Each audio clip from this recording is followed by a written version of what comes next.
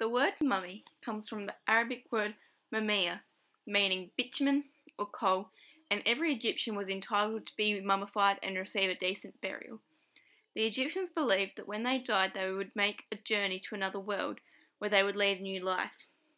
They would need all the things that they had used when they were alive in their afterlife, so their families would put the things they would need in their graves.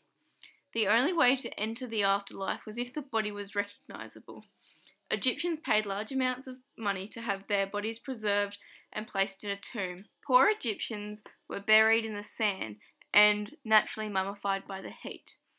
The process for mummification was Step 1 A hook was inserted through a hole near the nose and part of the brain was pulled out.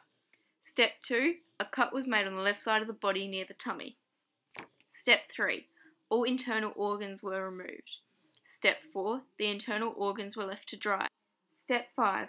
The lungs, intestines, stomach, and liver were placed inside canopic jars. Step 6. The heart was put back inside the body. Step 7. The inside of the body was rinsed with wine and spices. Step 8. The corpse was covered with natron, also known as salt, for 70 days. Step 9. After 40 days, the body was stuffed with linen or sand to give it a more human shape. Step 10.